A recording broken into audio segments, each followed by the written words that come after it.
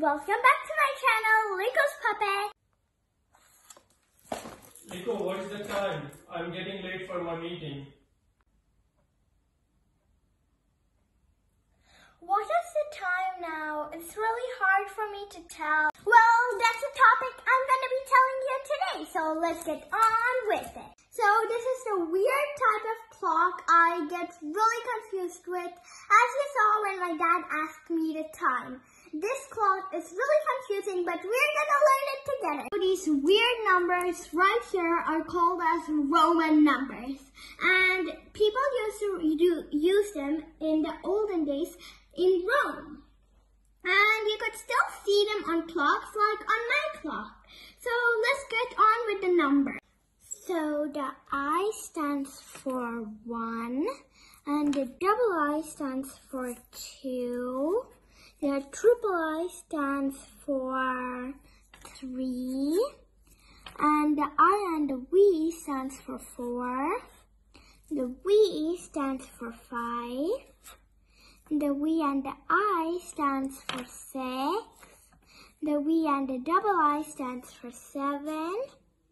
The we and the triple I stands for eight. I and the X stands for nine. X stands for 10. X and I stands for 11.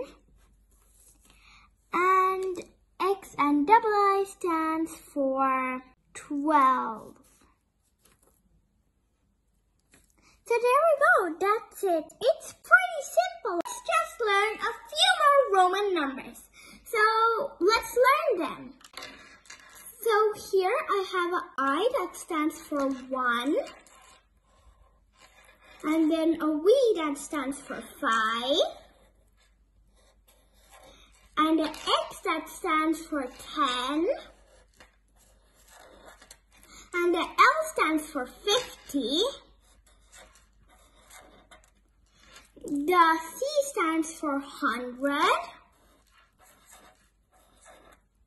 And the D stands for 500. And last but not the least, the N stands for a thousand. And I hope you learned something from this video because I learned a lot from learning these clocks because now I can tell my dad the time for his meeting, even though it's pretty late. And if you like this video and enjoyed this video, please like, share, and subscribe to my channel for more videos and click on the bell icon next to the subscribe button to see when I post a new video. Goodbye for now!